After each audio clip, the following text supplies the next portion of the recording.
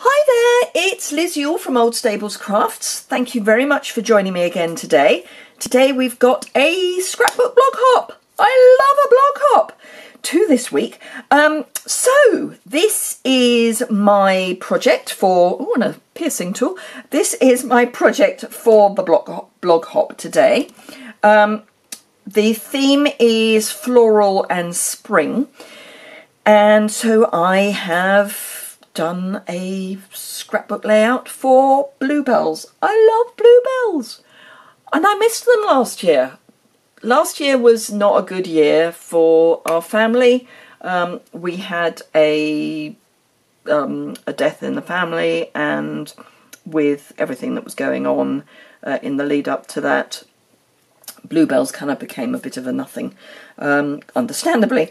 So this year I was determined that we were going to go and find a bluebell wood and I was going to take some photographs. Some photographs, about 50 photographs.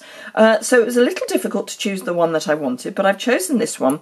Um, and the reason I've chosen this one is because I've got, I, I used a macro um, filter, well not filter, setting on my camera so that it's just picked out this little area here so everything else is faded and it just oh I was just so happy with it so I haven't done a heading I thought about putting a heading on or a yes a, a heading on and I just I just didn't really want one um, I wanted this big feature here and just mirroring it over here in vellum.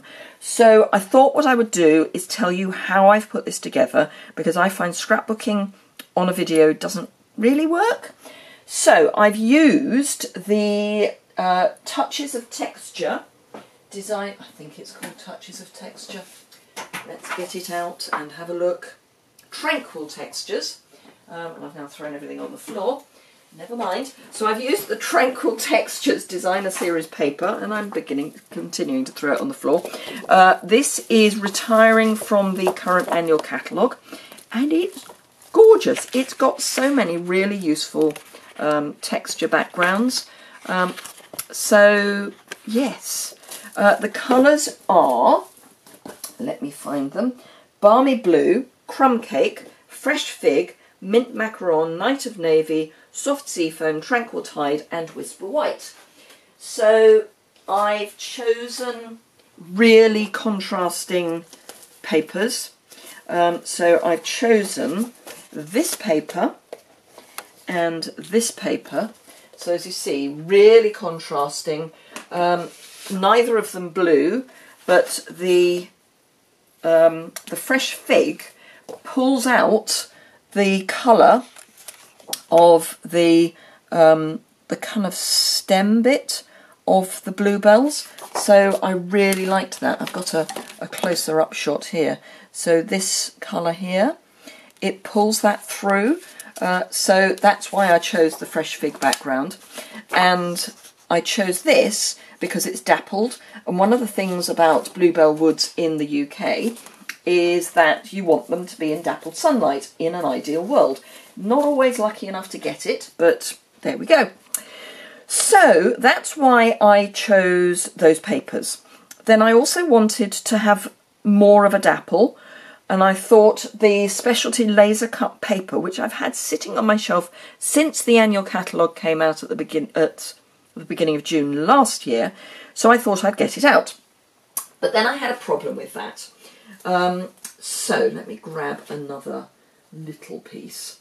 So this is a smaller piece, um, and I didn't like the cream and I didn't like the white because the white was too white and the cream was too cream. And I wanted to use one of these um, delightfully detailed journaling cards, for, uh, memory, memories and more cards, so I wanted to use that as my journaling spot. But I couldn't then use this background because it just wasn't, it was too cream and it wasn't cream enough, uh, and it was too white. So I risked it on the basis that I have some other sheets and I sprayed using 70% rubbing alcohol, champagne mist and crumb cake reinker in a little spritzer and I just, there's a tiny bit left in there, I just popped in, about five drops of reinker, quite a lot of champagne mist, and then topped it up with 70% rubbing alcohol. Do not use 90 or 100% rubbing alcohol. It if you're using the, the shimmer paint, it tends to uh, make it go into a great lump. You can use water uh, or 70% rubbing alcohol, which has got 30% water. Any more alcohol than that, and it you're going to have a problem. And you really need to shake it hard, even with 70% alcohol. And then I spritzed it. I did that on a separate sheet and then left it to dry. I did use the heat gun a little, but and I've got the effect I want, which is mottled, but with shine. Now, I don't know whether the camera's going to pick this up, but I'll give it a go. It's got shimmer, which is what I wanted. Then I used the bouquet bundle die, uh, dies. Bouquet, bouquet, not bundle, bunch. Bouquet bun uh, bunch dies, which goes with the bouquet builder stamp set. And I also use the everyday jar dies um, to get lots of florals. And I die cut them in, don't want to put that in there because that's not right. Uh, I die cut them in Old Olive, uh, Pear Pizzazz and Vellum just to get a variety and then built up this great swathe here and then echoed it with the vellum over there. Um, not too happy about this bit here, I need to find something to go there, but I'm not going to rush. Um, something will crop up that will go there. And then I wanted to keep that mottled shimmery look, so I used basic sequins, and some of the basic sequins, these are the twinkle as well, are matte. So there are some that are iridescent.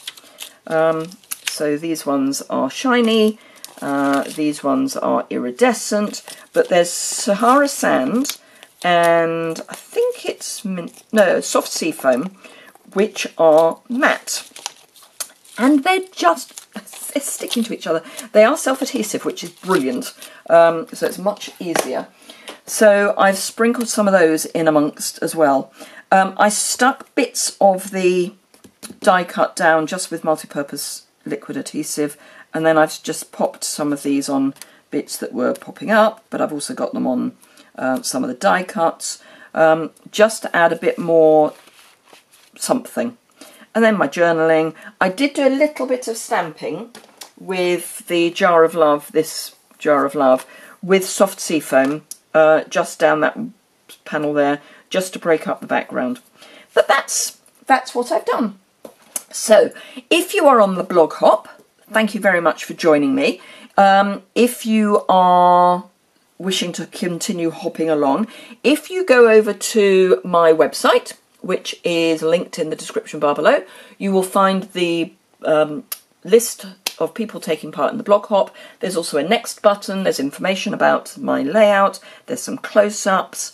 So yes, that's it really. Thank you very much indeed for watching. I hope you found that interesting. This is going to be fun to get into a page protector, but we'll give it a go. Um, but thank you very much. If you've got any suggestions for what I could put there, because it is just mm, not quite right, um, I would be very welcome. I would be very pleased to have your thoughts on that. Um, maybe some tulle ribbon or something, but I don't know. Anyway, thank you very much indeed for watching. I hope you enjoyed that. If you did, give it a thumbs up. If you would like to subscribe to my YouTube channel and you don't already, uh, it's in the bottom right hand corner. Just click on the subscribe button and then when you come back to YouTube you'll get a, um, a list of who you've subscribed to and who's posted new videos and it will also be in your feed but not on your email so it won't clutter up your email. Um, if you would like to receive my newsletter, you can do that over in on my website, which as I say is linked below. If you're in the UK and would like to shop any of these products or anything else, please, I would be delighted to if you would shop with me. Sorry, my language is going. Uh, I'd be delighted if you would shop with me. I try to look after my customers really well. Everyone who shops with me gets a thank you card and thank you gift. And if you use the host code, you get a share in the host rewards as well and they go these go out about a month after the end of the month because it's a month's code. Thank you very much indeed. I hope you've enjoyed that. Any questions or comments, leave them in the comments below. And I look forward to seeing you again soon.